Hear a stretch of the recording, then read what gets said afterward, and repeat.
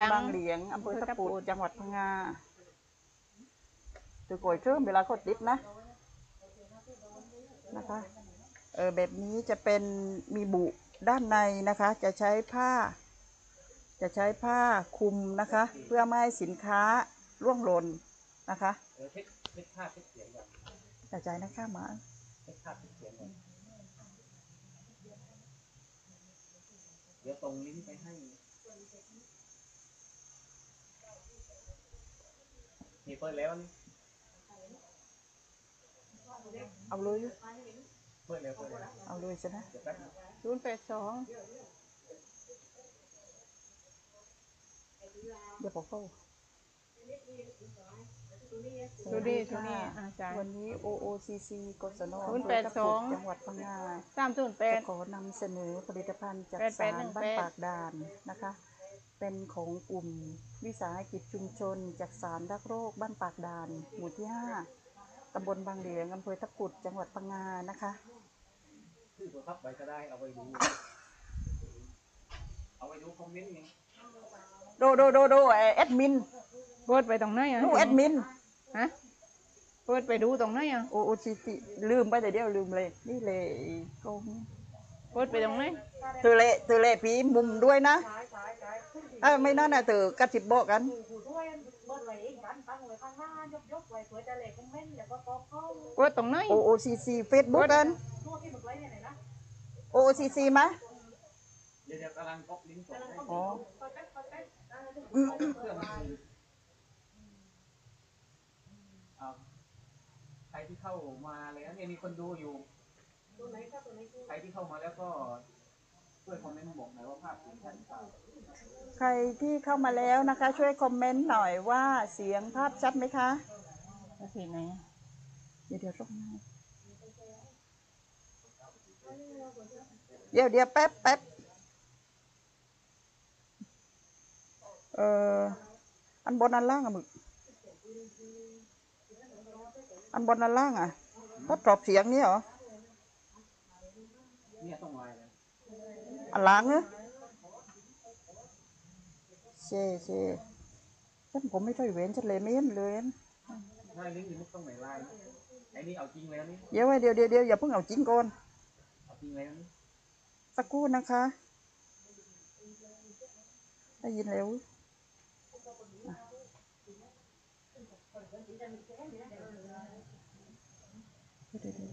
เดี๋ยวเดี๋ยวเดี๋ยวเดี๋ยวเดี๋ยวเจเจนี่ดิแป๊บเดียวแป๊บเดียว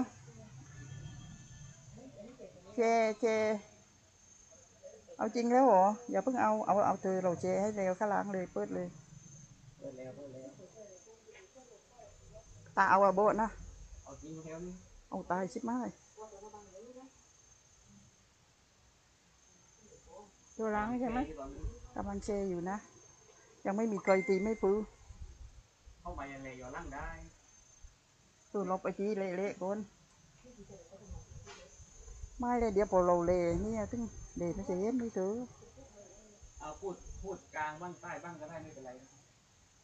เอาเลยทน้อองงแดนะงถือว่าเป็นสีสันเอาจริงหรือยังนี่ทองทองมีราคา สวัสดีค่ะ สวัสดีค่ะ วันนี้ OOCC ของกศนอำเภอตะปุด จังหวัดพังงานะคะ จะขอนำเสนอผลิตภัณฑ์นะคะเออเป็นผลิตภัณฑ์จากสารของวิสาหกิจชุมชน จากสารรักโลจากกสงจากสารรักโรค บ้านปากด่านหมู่ที่ 5ตำบลบางเหลียงอำเภอทะปุดจังหวัดพังงานะคะ ซึ่งกศนอำเภอทะปุดเนี่ยได้จัดชั้นเรียนนะคะได้เอ่อจัดฝึกอาชีพในศูนย์ฝึกอาชีพชุมชนนะคะเออมาประมาณสัก 4-5 ปีนะคะ ซึ่งเริ่มแรกเนี่ยเราจะเป็นการจักสารไม้ไผ่นะคะ ไม้ไผ่เนี่ยจะมีอยู่ในชุมชนของตำบลบางเหลียงเนี่ยมากนะคะ เราเลยนำวัสดุที่มีอยู่ในท้องถิ่นเนี่ยมาใช้ให้เกิดประโยชน์นะคะ โดยภูมิปัญญาท้องถิ่นนะคะ แล้วกลุ่มที่สองนะคะกลุ่มถัดไปนะคะ เราก็ใช้ต้นคุ้มนะคะ ต้นคุ้มในการที่จะจัดสารต้นคุ้มก็คือเออเป็นต้นไม้ชนิดหนึ่งนะคะ ที่ใบเนี่ยเขาทำขนมห่อหรือขนมขนมห่อค่ะ ต้นมันลำต้นมันจะมีสีเขียว นะคะเออเราก็นำมาจากสารซึ่งเออมันจะมีความทนทานนะคะมากกว่าไม้ไผ่นะคะ แล้วก็ลำดับถัดไปกลุ่มถัดไปก็เป็นเออจะเป็นการนำผลิตภัณฑ์ทางปาล์มนะคะ ในตำบลบางเหลียงเนี่ยเราจะมีต้นปาล์มมากนะคะ เพราะนั้นทางปาล์มเวลาเราตัดทิ้งมันก็ไม่เกิดประโยชน์ใช่ไหมคะทีนี้เราจะมาเอาก้านปาล์มเนี่ยมาทำเป็นผลิตภัณฑ์ก็คือตะกร้านะคะ พอตะกร้าเอ่อตามแล้วก็ผลิตภัณฑ์ตัวต่อไปนะคะ จะเป็นเอ่อก้านปาล์มนะคะ คือใบปาล์มอะค่ะก้านปาล์มเราก็มาทำเป็นเสวียนหม้อนะคะ จะมาทำเป็นเสวียนหม้อนะคะ โดยเราใช้ภูมิปัญญาท้องถิ่นบาคไม่รู้จักเสวียงหม้อเสวียนหม้อภาในน่าจะอีกชื่อหนึ่งเขาเรียกว่ากระจาดใส่ผลไม้อะค่ะเนี่ยค่ะ ที่เราเรียกว่าบ้านเราเรียกว่ากันหม้อ นะคะ เป็นที่เราหม้อนะคะ โดยเราใช้ภูมิปัญญาท้องถิ่นนะคะ ภูมิปัญญาท้องถิ่นของตำบลบางเหลียงนะคะ ก็คือนางสุนีบัวจันหรือที่เราเรียกว่าพี่เล็กนะคะ เดี๋ยวขอเชิญพบกับพี่เล็กได้เลยค่ะ สวัสดีค่ะ ดิฉันนางสุนีบัวจันทร์ค่ะ หรือว่าเรียกว่าพี่เล็กก็ได้ค่ะทำ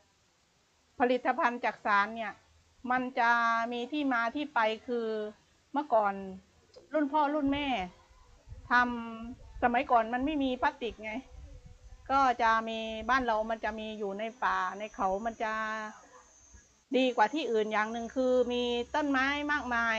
แล้วไอ้พวกต้นไม้พวกหวายพวกไม้ไผ่เนี่ย เราเอามาดัดแปลงเป็นทำเป็นผลิตภัณฑ์ใส่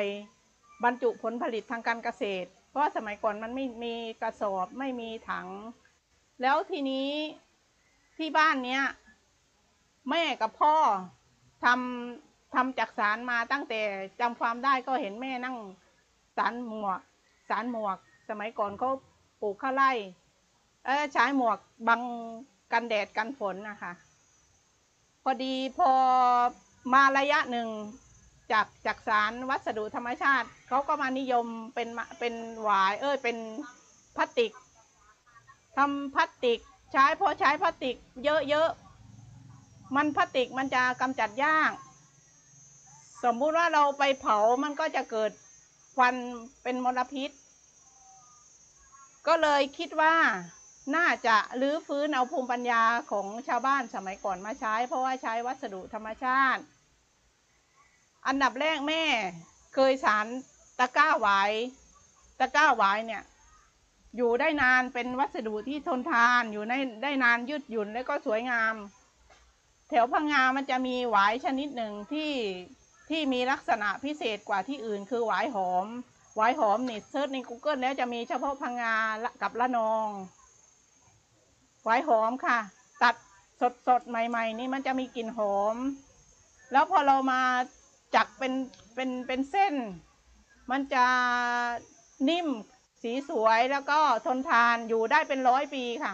เพราะว่าแม่แม่ทำเมื่อก่อนดิฉันเก็บมาใช้มาเป็นสามสิบกว่าปีสี่สิบปีก็ยังยังดูดีอะค่ะ จากหวายบอกกันหวายใบนี้หวายใบนี้ขนาดกว้างห้านิ้ว ยาวเก้านิ้วสูงเจ็ดนิ้ว ราคาสี่ร้อยห้าสิบบาทค่ะ ที่ราคาสูงเพราะว่าหวายเนี่ยมันจะหายากค่อนข้างหายากนิดหน่อย แล้วก็ทนทานด้วยค่ะ ใครสนใจผลิตภัณฑ์ตัวไหนนะคะ สแกน QR code เออด้านล่างเลยนะคะ หน้าจอด้านล่างเลยนะคะ สินค้าบางตัวเนี่ยจะเป็น pre order นะคะ ต้องสั่งล่วงหน้าแล้วก็บอกขนาด แล้วก็เราจะเอ่อทำให้ค่ะนะคะ ผลิตภัณฑ์ชิ้นต่อไป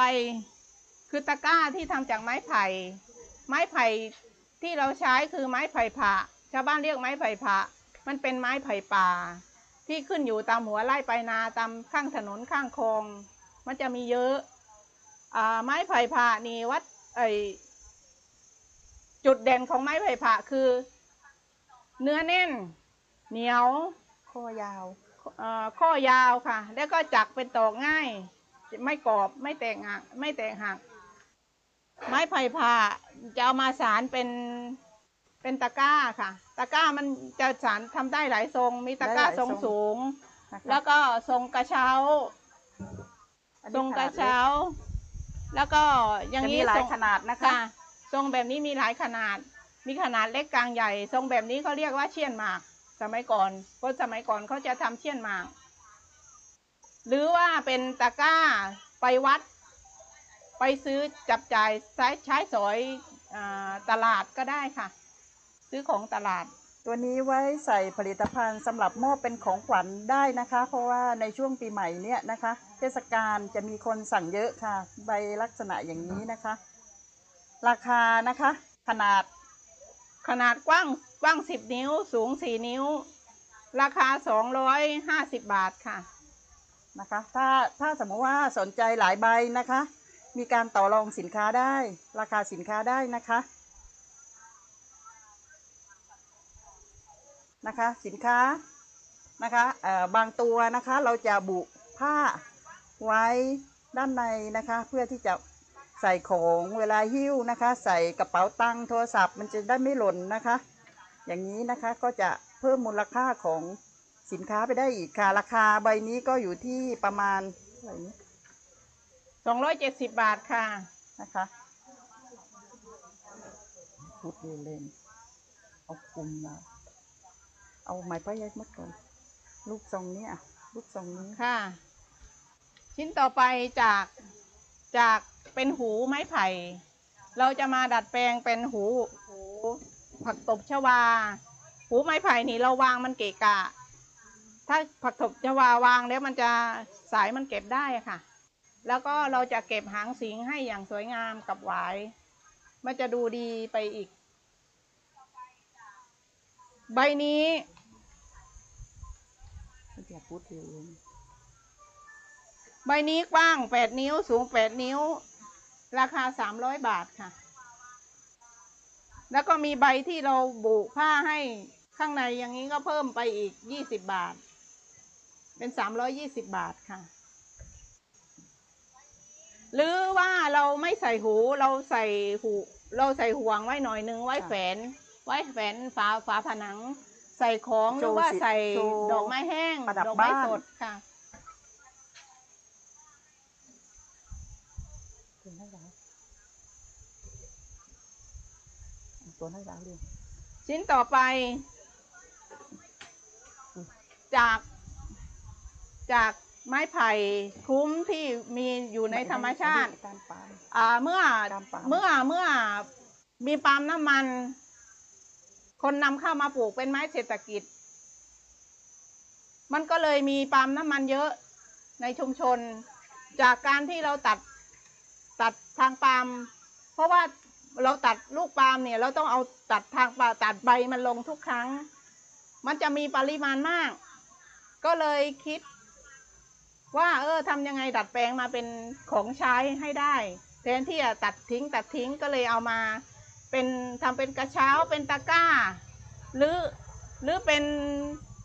ผลิตภัณฑ์ที่ ที่ใช้บรรจุ บรรจุ ผลผลิตทางการเกษตรได้อะค่ะ ก็เลยทำเป็นกระเช้า ใช้เป็นกระเช้าเออสำหรับใส่ของฝันได้นะคะ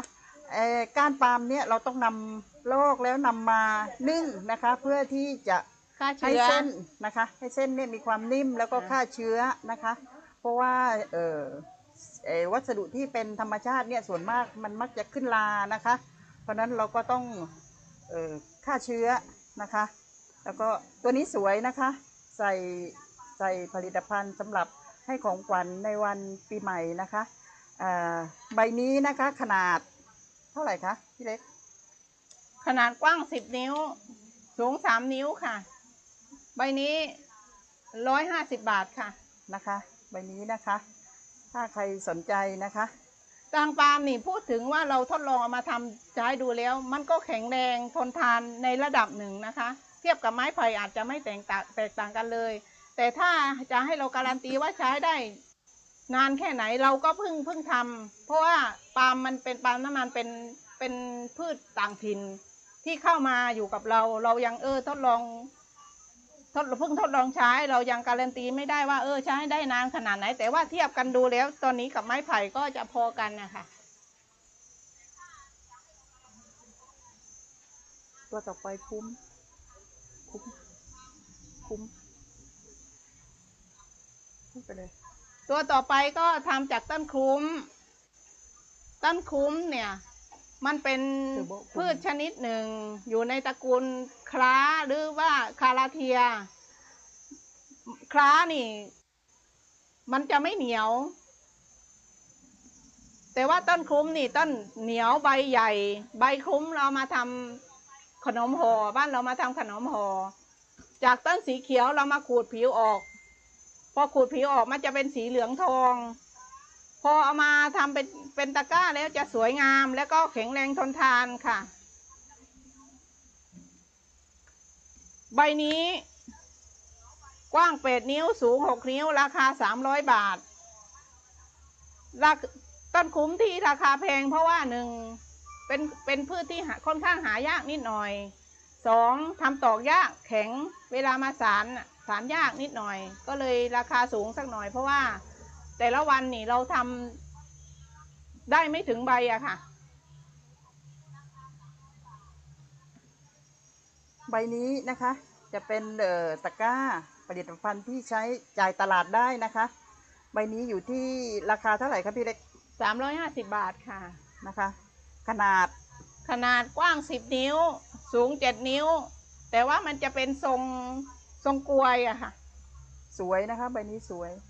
นะคะ เราจะเสริมหูด้วยไม้ไผ่แล้วก็หวายข้างบนนะคะ เพื่อความทนทานนะคะ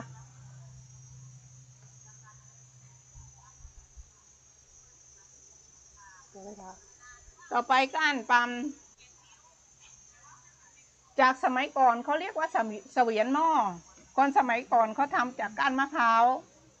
ก้านมะพร้าวแต่ว่าพอปั๊มน้ำมันมันมาเข้ามามีเสวียนหม้อหรือว่ากระจาดค่ะ กระจาดกลางก็เรียกเสวียนหม้อเหมือนกันภาคกลางภาคกเสลางวียนหม้อเรียกเขาก็เสวียนหเรีม้ยอกแต่กระจาดเขาก็เรียก บ้านเราเรียกกันหม้อน่าจะรู้จักบ้านเราเรียกกันหม้อเด็กรุ่นนี้ไม่รู้จักที่รองที่รองหม้อใช่ เวลาเราแกงร้อนๆเราก็มาวางบนนี้นะคะ เพื่อไม่ให้เอ่อแกงเนี่ยสัมผัสกับโต๊ะเอ่อโดยตรงสัมผัสกับโต๊ะแล้วมันจะบูดง่ายนะคะแล้วก็สมัยก่อนอ่าแล้วก็สมัยก่อนคนสมัยก่อน เขาหุงต้มกับฟืนไงคะ มันมันจะดำ ถ้าเราไปวางบนโต๊ะโดยตรงจะดำแล้วก็วางบนเสวียนกันดำอ่าสมัยก่อนเขาทำจากก้านมะพร้าว แต่เดี๋ยวนี้ปาล์มน้ำมันมันมามีบทบาททางเศรษฐเศรษฐกิจในบ้านเรา มันมีเยอะ ก็เลยเอามาดัดแปลง ดัดแปลงเอาใบก้านปั๊มน้ำมันมาใช้ ปรากฏว่าสารง่ายกว่าก้านมะพร้าว แล้วก็คิดว่าน่าจะทนทานกว่าด้วย เพราะก้านปั๊มน้ำมันมันแข็ง แข็งแรงค่ะ ใบนี้กว้าง 9 นิ้ว สูง 2 นิ้ว ราคา 70 บาทค่ะพูดได้ได้ใช้ผลไม้ได้ใส่ผลไม้ ใส่ผลไม้ก็ได้นะคะ ใส่ผลไม้วางบนโต๊ะอาหาร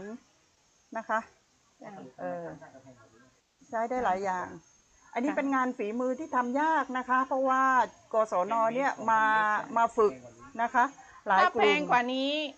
บางคนว่าแพบางคนงเออเราก็ขายคิดถึงยากบางคคิดรั้งถึงขายคยากนนะคะ ถ้าเราที่จะแพงซื้อด้วย แต่ว่าถามว่าคุ้มไหมไม่คุ้ม เพราะว่ามันใช้ฝีมือใช้เวลาไงคะแล้วก็อ่าจะเป็นกระจาดก็เรามาทำเป็นกระเช้าก็ได้เป็นตะกร้าก็ได้ค่ะอันนี้ซื้อเหมือนได้ฟรีเลยราคานี้บางแต่คนว่าว่าแพงเนี่ยแต่จริง ๆ แล้วถ้ามาดูวิธีการทำนะคะเออจะเห็นว่ายากลำบากมากเพราะเราต้องเหลา นะคะ เหลาแล้วก็มาเออเหลา ใช้เวลา แล้วก็มานั่งดัดนะคะ กว่าจะได้เออใบหนึ่งนี่ก็หลายวันนะคะ ถ้าคนเพิ่งฝึกนะคะ ต้องฝึกจนชำนาญแล้วเราจะดัดเป็นรูปทรงที่สวยทำแรกๆเนี่ยอาจจะไม่สวยนะคะ รูปทรงอาจจะเบี้ยวๆนะคะเหมือนฝรั่งดูแล้วสนใจจะสั่งเยอะๆนี่ทำไงอะต้อง ออเดอร์ค่ะ สั่งมาก่อน ค่ะต้องรอค่ะจะเป็นพ r ออเดอร์ ค่ะ อันนี้นะคะผลิตภัณฑ์ของกลุ่มวิสาหกิจจักสานเอ่อรักษ์โลกเนี่ยจะมีเอ่อจะมีนักศึกษามาดูงานนะคะ จากวิทยาลัยชุมชน จากโรงเรียนดีบุกนะคะ หรือโรงเรียนวัดลาดอุปถัมภ์ใกล้ ๆ บริเวณเนี้ยมาให้ภูมิปัญญาท้องถิ่นเนี่ยสอนนะคะ แล้วก็มีออเดอร์ของโรงแรม ล่าสุดนี้จะจากโรงแรมไหนครับพี่เล็ก โรงแรมบันยันทรีภูเก็ตค่ะนะคะ ออเดอร์ไปประมาณ 20สี่สิบใบ 40 ใบนะคะ จะไปเอ่อโชว์ให้กับฝรั่งในเรื่องของการจัดอาหารเช้าเซตอาหารเช้านะคะ เพราะฉะนั้นเออฝรั่งก็สนใจนะคะในเรื่องของวัสดุธรรมชาติใบนี้ตัวนี้นะคะ แล้วก็กลุ่มเราเนี่ยจะ ถ้าพูดถึงเราไม่เน้นทำธุรกิจ แต่ว่าเราเน้นถึงให้สืบสาร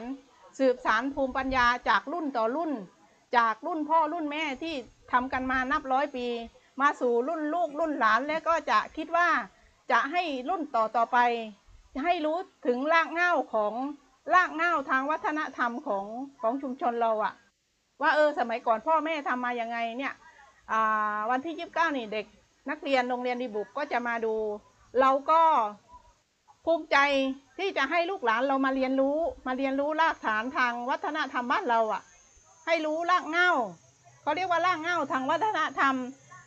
อ่าดิฉันคิดว่ารากเหง้าทางวัฒนธรรมเนี่ยมันจะเป็นเหมือนกับเป็นพื้นฐานที่เด็กต่อรุ่นต่อไปจะเป็น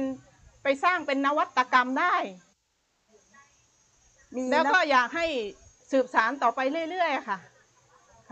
จากกศนตำบลบางเหลียงก็เคยพานักศึกษามานะคะ ในเรื่องของการจักสารมาจากสารเอ่อไม้ผะมาจากสารเอ่อเขาเรียกอะไรนะ ทางมะพร้าวทางมะพร้าว ใบมะพร้าวอะค่ะ เป็นวัสดุใส่เอ่อผลไม้หรือว่าใส่ของนะให้นักเรียนทำโครงงานนะคะพานักเรียนมาเรียนรู้นะคะ แล้วก็เราใช้พี่เล็กนะคะภูมิปัญญาท้องถิ่นเนี่ยเป็นคนเป็นผู้รู้ที่จะถ่ายทอดให้กับ นักเรียนเพื่อนนักเรียนเนี่ยจะได้นำความรู้เนี่ยไปใช้ในชีวิตประจำวันได้อะค่ะ อย่างน้อยๆถึงเขาไม่ไปใช้ในชีวิตประจำวันก็เอออาจจะเออพอไปถึงช่วงชีวิตหนึ่งเขาจะคิดว่าเออเราก็บ้านเราก็มีภูมิปัญญาบรรพบุรุษที่เออมีฝีมือทางด้านนี้ เหมือนกันต่อไปตัวถ้าถ้าเขาดูในไลฟ์สดแล้วเขาไม่ได้สั่ง ออนไลน์นี่ครับเขามาเที่ยวพังงาแล้วจะแวะมาซื้อนี่ก็ได้ใช่ไหมครับแวะมาซื้อได้ค่ะ ในเพจ แบบมีใน ใน Google เพจ Map ก็มีค่ะ ในเพจเอ่อจากสารลักโลกจากบ้านสารปากรักดานโลกค่ะบ้านปากดานนะคะโอเคเราจะมี Google Map นะคะ อันนี้เลยมาจากวัดบางเหลียงนิดนึงเลยจากวัดบางเหลียงมาประมาณกิโลครึ่งค่ะ มาชมได้ค่ะ ไม่ซื้อไม่เป็นไรค่ะ ว่าแต่มีคนมาชมเราก็ดีใจแล้ว ที่เขาสนใจ ภูมิปัญญาของชาวบ้านนะคะถ้าถ้า search ใน Google Map นี่ search ว่าอะไรครับ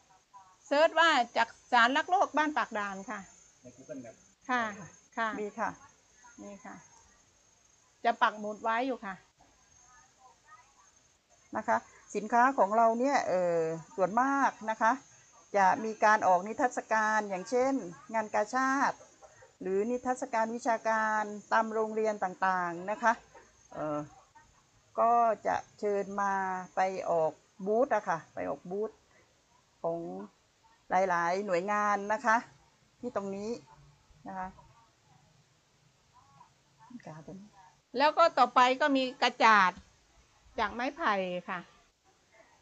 กระจาดจากไม้ไผ่ใบนี้กว้าง 14 นิ้ว สูง 6 นิ้ว ราคา 90 บาทค่ะ เสนอนะว่าจริงตอนนี้ลืมทำ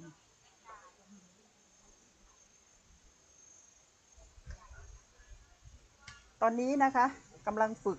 ตัวตอนนี้นี้นะกำลัคะงฝึกทำจากเอ่ยทำฝาชีจากวัสดุธรรมชาติ จากไม้ไผ่ก็ได้จากหวายก็ได้หรือจากคุ้มก็ได้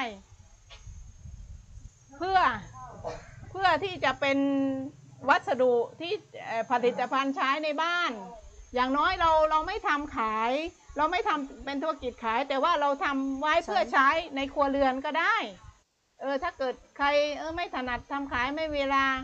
ทำไว้ใช้ในครัวเรือนให้ลูกหลานเห็นว่า เออนี่เราทำจากวัสดุธรรมชาติในบ้านเรานะ เราทำจากเออฝีมือที่ถ่ายทอดมาจากภูมิปัญญาบรรพบุรุษเรานะ ให้ลูกหลานได้เออได้มีความทรงจำว่าเออครั้งหนึ่งเคยเห็นแม่นั่งทำ หรือเคยเห็นยายนั่งทำทำเสร็จแล้วเราอาจจะใช้เลกเกอร์เคลือบนะคะ ฉีดเอ่อสเปรย์เลกเกอร์นะคะ จะทำให้มีความเงามากขึ้นนะคะ แล้วก็กันเชื้อรากันลานะคะได้ได้ไม่นาน แต่ว่าก็จะทำให้ผลิตภัณฑ์เนี่ยจะมีความเงางามมากขึ้นนะคะ ตัวนี้ตัวนี้แจกของเราอยากด้วย เอามาได้เอามาได้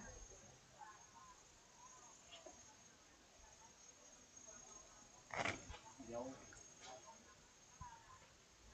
ขายก่อน เดี๋ยว ก่อนที่จะแนะนำสินค้าต่อ แนะนำตัวเองอีกสักรอบให้จบใครที่ดูที่เข้ามาดูเดี๋ยวเอาเองพูดอาจจะหลายๆรอบเหมือนบางคนเพิ่งเข้ามาดู ค่ะวันนี้นะคะกศน OOCC ของกศนอำเภอทับปุดนะคะเอ่อเราได้มีการฝึกอาชีพของศูนย์ฝึกอาชีพชุมชนนะคะมันจะพูดจังหวัดอะไร ของอำเภอทับปุดจังหวัดพังงานะคะเอ่อ จะเป็นผลิตภัณฑ์จากสารของกลุ่มวิสาหกิจชุมชนจากสารรักโรคบ้านปากด่านหมู่ที่ 5 ตำบลบางเหลียงอำเภอทับปุดจังหวัดพังงานะคะ หรือออของตำบลบางเหลียงเนี่ยเราจะมีจุดเด่นสถานที่ท่องเที่ยวก็คือ วัดพระธาตุวัดพระธาตุเออวัดพระธาตุเออของวัดบางเหลียงนะคะ ซึ่งจะมีนักท่องเที่ยวเนี่ยเข้ามาเที่ยวชมมากมายนะคะ ซึ่งอออยู่ใกล้ๆกันนะคะในบริเวณของเลยวัดบางเหลียงมานะคะ จะเป็นกลุ่มวิสาหกิจชุมชน ซึ่งกลุ่มนี้นะคะจะเป็นการจักสารนะคะ จะมีผลิตภัณฑ์หลายหลายรูปแบบหลายผลิตภัณฑ์นะคะที่เรานำมาจักสารนะคะ แล้วเราจะใช้ภูมิปัญญาท้องถิ่นเนี่ยจะเป็นการถ่ายทอดความรู้ ซึ่งภูมิปัญญาท้องถิ่นเนี่ยนะคะ ถ้าใครสนใจที่ไม่ไกลเกินไปนะคะ จะให้ถ่ายทอดความรู้นะคะเออพี่เล็กหรือนางสุดีสุดีบัวจันบัวทร์จันทร์นะคะค่ะก็ยินดีที่จะไปให้นะคะ อย่างล่าสุดนี้ก็ของกศนตำบลบางเตยอำเภอเมืองจังหวัดพังงานะคะ ให้สนการทำตะกร้าไม้ไผ่ตัวเนี้ยค่ะนะคะเออก็เป็นการถ่ายทอดความรู้ให้กับคนที่สนใจนะคะ ซึ่งพี่เล็กเนี่ยก็เอ่อ ประวัติของพี่เล็กเนี่ย เดี๋ยวเชิญพี่เล็กแนะนำตัวเองได้เลยค่ะ สวัสดีค่ะ ดิฉันนางสุนีบัวจันทร์หรือว่าพี่เล็กค่ะที่มาทำจากสารนี่ก็เพราะว่าสืบสืบทอดมาจากพ่อแม่ค่ะ พ่อแม่เคยทำพ่อแม่เคยทำแล้วอีกอย่างหนึ่งเราก็พอเราก็อยากอยากอยากสืบสืบทอดสืบสืบ ให้ลูกให้รุ่นลูกรุ่นหลาน สืบสารต่อไปอะค่ะ อย่างถ้าเกิด เดี๋ยวนี้คนเดี๋ยวนี้ไม่ค่อยทำผู้เฒ่าผู้แก่เนี่ย อยู่เฉยๆ ถ้าเกิดเราลื้อพื้นมาทำอย่างน้อย การทำจักสานนี่จะได้ฝึกสมาธิ ฝึกสมาธิความเขาเรียกว่าอดทนได้ทั้งสมองกายและจิตคือสมองเราจะได้คิดคิดลายนู่นลายนี่จะลด ลดการเขาเรียกว่าความจำเสื่อม ค่ะลดลอัลดไซเมอร์ เออลดอัลไซเมอร์สองเรามาทำเนี่ยเราได้สมาธิจิตจะได้ไม่ฟุ้งซ่าน จะได้มีเพื่อนนะคะอ่าเป็นหจะได้ลาย มีๆ คน ใช่ เพราะว่าเวลาเรามาทำเนี่ยเราจะมีการพูดคุย จะมีการสื่อสารนะคะสมองกายใจแล้วก็ทางกายเราก็จะได้ออกกำลังกายไปด้วย ไปตัดไม้ไผ่นู่นนั่นนี่ แทนที่จะอยู่เฉยๆ แล้วมันจะฟุ้งซ่านพ อเรามาทำได้สมองกายจิต เราก็มีรายได้เสริมด้วย ถ้าเกิดทำขาย ถ้าเกิดไม่ขายเราก็ได้มีผลิตภัณฑ์ไว้ใช้ แล้วก็ถ้าเกิดใครสนใจ อยากจะทำเป็นก็ก็สอนได้ค่ะ ติดต่อมาได้นะคะค่ะสอนได้อยากถ่ายทอดให้ ยิ่งเป็นเด็กรุ่นใหม่ยิ่งดี อยากถ่ายทอดให้เขาสืบทอดไปเรื่อยๆ รุ่นลูกรุ่นหลานไปเรื่อยๆ ให้เป็นตำนานตำนานทางรากเหง้าวัฒนธรรมของบ้านเราค่ะเออพี่เล็กนี่จะจบด้านปริญญาตรีด้านเกษตรนะคะด้านเกษตรแล้วแกก็สนใจทางด้านนี้นะคะ เพราะว่าเออบรรพบุรุษทำมาแต่บรรพบุรุษนะคะ เห็นมาตั้งแต่เด็ก ๆ ก็เลยซึมซาบซึมซาบซึมซับนะคะ ความรู้ในด้านนี้นะคะ ก็พี่ก็จบเกษตร แล้วก็ทำเป็นนักวิชาการเกษตร อยู่กรมวิชาการเกษตรอยู่เจ็ดปี พออยู่เจ็ดปี พอมีมามีครอบครัว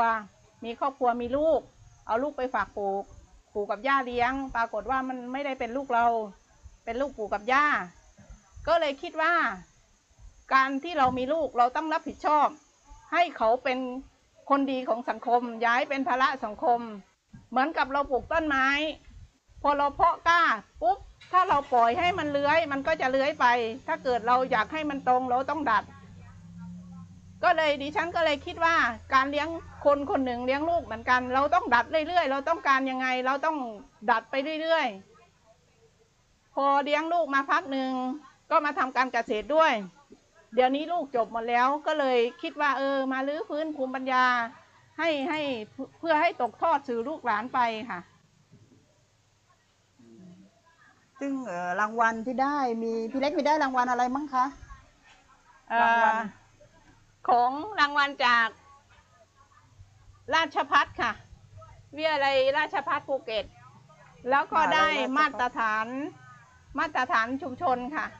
มพช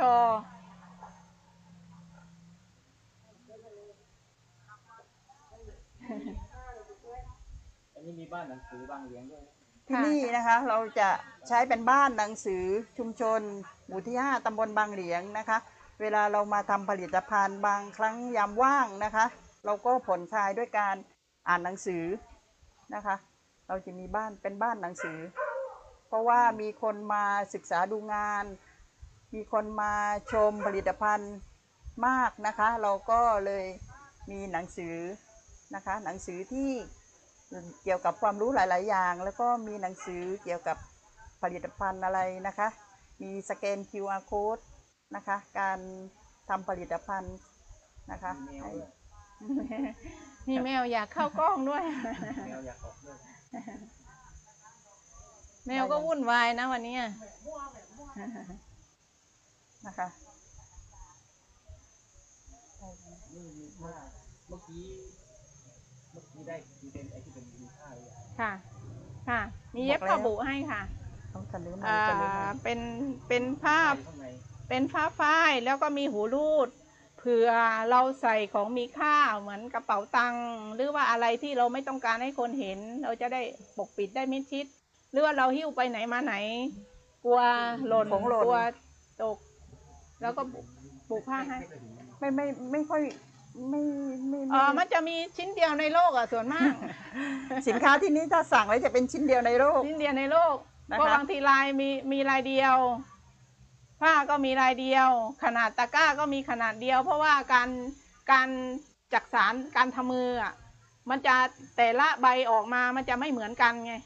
มันจะคล้ายๆไล่เรียงกัน แต่ว่าไม่เหมือนกัน ส่วนมากจะมีลายเดียวในโลก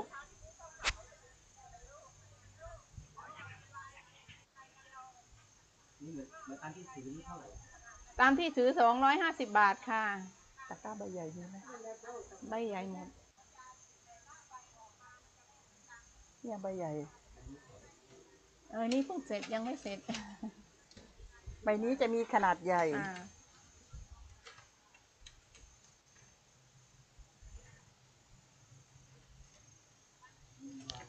ไอ้ไอ้เส้นนี่คือ เส้นนี้คือคุ้ม อ๋อ ไม่ใช่ไม่ใช่ อะทาสีใช่ไหมครับอ่าไม่ไม่ได้ใช่หวานทาสีค่ะ เราไม่ทาสีเราใช้ธรรมชาติหมดเลย ไม่ทาสี ไม่อยากให้ถ้าเป็นธรรมชาติแล้วไม่อยากให้เปื้อนเคมี ไม่ใช่ว่าเคมีไม่ดีหรอก แต่ว่าเราเราเราเน้นว่าวัสดุธรรมชาติล้วนๆอย่างหวายเนี่ยมันจะทนทาน อย่างคุ้มเนี่ยดิฉันคิดว่าชื่อมันเป็นมงคลไง สีสวยสีก็สีทอง แล้วก็ชื่อคุ้ม เหมือนเราถือตะกร้าเนี่ยเหมือนกับเออคุ้มครองคุ้มคุ้มทรัพย์สินที่อยู่ในกระเป๋าเราหรือในตะกร้าเราประมาณเนี้ยค่ะอันที่อันที่โชว์อยู่นี่ใบเท่าไหร่อ่าที่โชว์ใบละห้าร้อยค่ะ เพราะหวายหวายกับคุ้มหวายหายากแล้วก็ทนทาน ธรรมชาติหายากอ่าค่ะ แล้วก็เป็นงาน handmade เป็นหันเห็นไหมแล้วก็หวายหอมนี่จะมีเฉพาะพังงากับระนองเท่านั้น ที่อื่นไม่มีไอตัวนี้จะเป็นตะกร้าไปวัดเวลาไปตลาดแล้วก็ไปไปวัวัดดไปตลาดใส่ไปปิ่นวัดโตนะคะใบนี้ยังไม่เสร็จนะคะ ยังไม่ยังไม่เรียบร้อย เพราะเพิ่งทำเออใบนี้ประมาณเท่าไหร่ครับพี่เล็ก ใบนี้สามร้อยี่สิบบาทค่ะ ไอ้หวายหรือว่าไม้ไผ่พวกนี้นะ ถ้าเกิดเราใช้แล้วแล้วเราเก็บดูแลอย่างดีคือ ถ้าโดนน้ำเราตากให้แห้ง เราไม่ให้ชื้นอยู่นาน จะอยู่ได้เป็นสิบปีอย่างน้อย อันนี้ไม่ได้เก็บงานอ่าค่ะ ยังยังยังไม่ได้เก็บงานยังไม่ยังไม่เรียบร้อยค่ะ เพราะว่าพี่นี่ก็จะอาศัยเวลาว่างจากการทำสวนที่จะมาทำจากสารเนี่ย ว่างจากสวนแล้วถึงจะมาสารค่ะ เพราะว่าเราถ้าสารอย่างเดียวเป็นธุรกิจนี่ บางคนเขาว่าเออราคาสูงอย่างนั้นอย่างนี้ไม่คุ้ม แล้วเราก็ทำทำธุรกิจเลี้ยงเลี้ยงครอบเลี้ยงครอบครัวไม่ได้ ถ้าเราไม่ทำอย่างอื่นด้วย ต้องเพิ่มอันนี้นิดนึงให้เขารู้ว่าเป็นของฝากอย่างไอตัวนี้ตอกก็เหลาเองนะคะ เราเองแกะแกะชื่อก็ได้อ่าคิดว่าอยู่ คิดว่าจะมีแผ่นหนังแผ่นหนังเล็กๆมาเปะปุ๊บวับต้องมีอ่าเพิ่มนิดนึงอ่าสารร้อยลักษณ์ประมาณนี้ไหม แต่ว่ายังยังกันเพิ่งอยู่ในความคิดอยู่ นะคะ ผลิตภัณฑ์ของเราก็พัฒนาไปเรื่อยๆนะคะ จะพัฒนารูปแบบไปเรื่อย ๆ ให้มีความทันสมัย แล้วก็คงอนุรักษ์ของเก่าไว้ด้วยนะคะแล้วดิฉันคิดว่านะ คนสมัยก่อนเขาจะสารตะกร้าสารฉลอม ใส่ผลไม้ใส่มังคุด ใส่ลังสาดใส่ไก่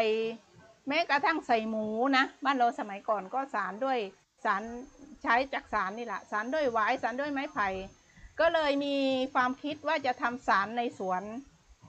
เราทำสวนไปด้วย เวลาว่างเอ่อก็นั่งสารกำลังกำลังโปรเจกต์นี้กำเพิ่งเริ่ม ทำบ้านอยู่ที่สวนหลังหนึ่งแล้วก็จะเอาจากสารไปไว้เลยสารในสวนไม่ เราไม่ต้องวิ่งเข้าวิ่งออกไง ตอนเที่ยงเออมานั่งสารอันนี้ก็แมมาวนี่แย่งไม่ขาย แมวไม่ขาย แย่งซีนอยู่ตลอด แมวไม่ขายนะคะ แมวอยากออกกล้องอ่าอันนี้อยากอยากโชว์ตลอด ถ้าเกิดมานั่งสารนี่จะเขาจะมาช่วยนะ มาช่วยถ้าเกิดดึกๆนี่ ถึงเวลานอนแล้วก็มาถุนั่งงอะไรหานะให้คะเห็นถุงถุงเงินถุเหงรอ ถุงเงินถุงเงินถุงถุงทอะไรอง ถุงทองตัวนี้ชื่อนางถุงทอง มีคนมาชม เพราะว่าสวยมากนี่คนขายหรือว่าตะกร้าก็ไม่รู้แมวเขาชมแมว นี่อ่านอ่านชื่อคนที่เขามาฮะไหนแอดมินไปไหนได้ เดี๋ยวไม่เห็นอันเลนี้ยครับขอใส่อนุญาตใส่แว่น สวยมาก อ๋อ พี่รัตดากล้ากิจนะคะ สวยมาก อะไรสวยคะพี่รัตดา แมวสวยว่าว่างั้นเออ หรือลายผ้าสวยน้องป้อมก็อะไรไม่สวยคะบอกด้วยนะคะวันลี่อะไรสวยคะตะกร้าหรือว่าคอนไลท์หรือว่าคนถ่าย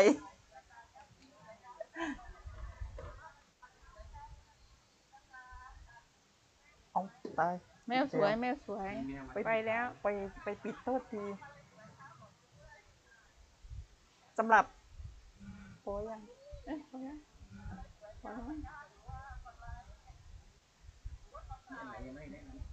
เนี่ยแนะนหมดแล้วำส่วนมากผลิตภัณฑ์เนี่ยจะมีเอ่อรูปแบบคล้ายๆคกัล้านยกันคล้ายกันนะคะต่างกันที่ขนาดต่างกันที่ขนาดนะคะเอ่อใครสนใจแบบไหนนะคะ ก็สแกน QR code หน้าจอด้านล่างได้นะคะ เพราะว่าสินค้าของเราเนี่ยจะเป็นประเภท p ีออเดอร์สั่งมาก่อนแล้วเราค่อยทำนะคะเพ ราะว่าถ้าเราทำเก็บไว้เนี่ยบางครั้งมันจะขึ้นลาขึ้นรานะคะ รักษายาก เพราะว่าช่วงนี้ก็เป็นช่วงหน้าฝนนะคะเออสินค้าเนี่ยจะขึ้นลาถ้าเราขายไม่ได้เนี่ยเราจะต้องเอาตากแดดนะคะ แล้วช่วงนี้ก็ไม่ค่อยมีแดดนะคะใช่เพราะว่าภาคใต้บ้านเราเนี่ยจะชื้น ยิ่งแถวในตำบลบางเหลียงนะคะฝนจะตกเยอะ เพราะว่าทรัพยากรที่เนี่ยอุดมสมบูรณ์นะคะฝนเนี่ยตกทุกวันฝนะนคะตก ฝนตกนี่เป็นอุปสรรคเลยของงานค่ะสาร เพราะว่าเออสารคาอยู่เนี่ย ถ้าเกิดตากไม่แห้งขึ้นลาหมดได้ทิ้งก็มีค่ะ นี่แหละเป็นเป็นอุปสรรคบางครั้งก็ท้อเหมือนกันนะมันอุปสรรคเยอะแล้วแล้วแล้วบางบางครั้งอย่างพวกเอ่อแถวภาคกลาง แถวนู้นเขาจะมีอบอบลมควันอะไรอบกรรมฐานอะไรของเราไม่ไม่เคยได้พัฒนาไปขนาดนั้น เพราะว่าบางทีเราเดินคนเดียวเราก็ มันเหนื่อยเหมือนกันนะ ตอนนี้เพิ่งซื้อตู้ตู้อบใช่ใช่ก็เลยมาเน้นเออทำวัสดุธรรมชาติเพื่อสุขภาพก็เลยเออ ไม่ใช้สารเคมีไม่ไม่ใช้สารเคมีใช่ แต่เราว่ามีตู้อบอะค่ะแห้งเล็กเออเอาไว้ให้เขาแห้งนะคะ เล็กๆนะใช้คะพลังงานจากธรรมชาติด้วย ใช้พลังแสงอาทิตย์ด้วยค่ะแปดพันห้าร้อยบาทฟักเงินตัวเอง เพราะว่าอยากทำอยากได้ไง มันยังไม่ ถ้าถ้ากระทรวงพลังงานดูอยู่ก็มาสนับสนุนได้ ขอแล้วไม่ได้สักที ต้องผ่านนู่นนั่นนี่ ยุ่งยากก็เลยบางครั้งเกษตรกรไม่มีเวลา ไม่แน่อาจออกไปอาจจะได้ก็ได้ขอเกษตรกรไม่มีเวลา เพราะว่ามีเวลาเออทำงานทำงานเช้าทำงานเที่ยงมาสารจะให้ไปเดินเรื่องมันบางทีมันยุ่งยากก็เลย มันเป็นข้อด้อยของเกษตรกรไทย แต่ว่าเราก็ยอมรับว่าเราทำได้แค่นี้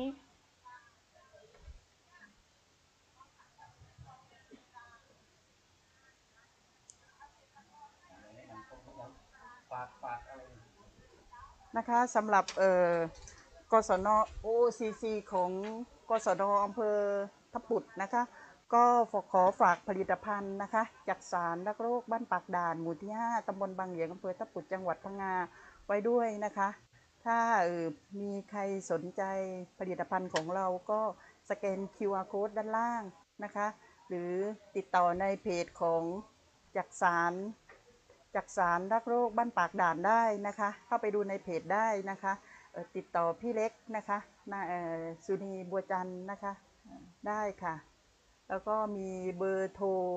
มีเบอร์โทรด้วยใช่ไหมนี่คะค่ะมีศูนย์แปดสองสามศูนย์แปดแปดแปดหนึ่งแปดค่ะ นะคะสำหรับใครที่สนใจนะคะ ในเรื่องของผลิตภัณฑ์จากธรรมชาตินะคะเออชอบการอนุรักษ์นะคะชอบการอนุรักษ์เออภูมิปัญญาท้องถิ่นก็ ติดต่อมาได้นะคะ เบอร์อะไรครับพี่เล็ก ศูนย์แปดสองศูนย์แปดสองสามศูนย์แปดแปดแปดหนึ่งแปดค่ะสามศูนย์แปดแปดแปดหนึ่งแปดแปดหนึ่งแปดค่ะ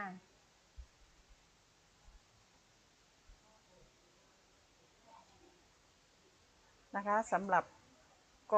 OOCC ของกศนอำเภอทับปุดจังหวัดพังงาก็ขอ ยุติการนำเสนอสินค้าเพียงแค่นี้นะคะ สวัสดีสวัสค่ะดีค่ะ เดี๋ยววันจะปิดไลฟ์เดี๋ยวดูเบอร์ก่อนขึ้นถูกหรือเปล่า ดูเบอร์ก่อนถูกไหมพี่เล็กฮะเบอร์ไหนอะ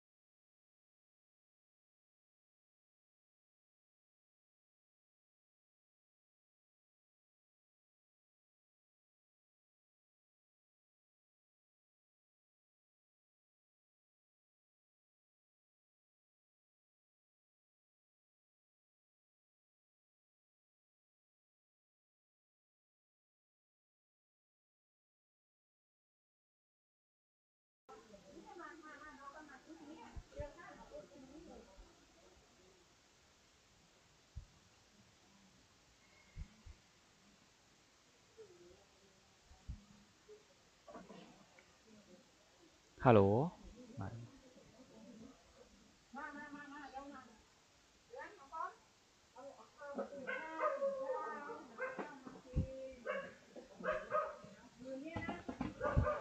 ครับสำหรับคนที่เข้ามาดูย้อนหลังนะครับ สนใจก็สแกน QR code ที่หน้าจอหรือว่าจะโทรมาเบอร์ที่ขึ้นโดยตรงเลยก็ได้นะครับ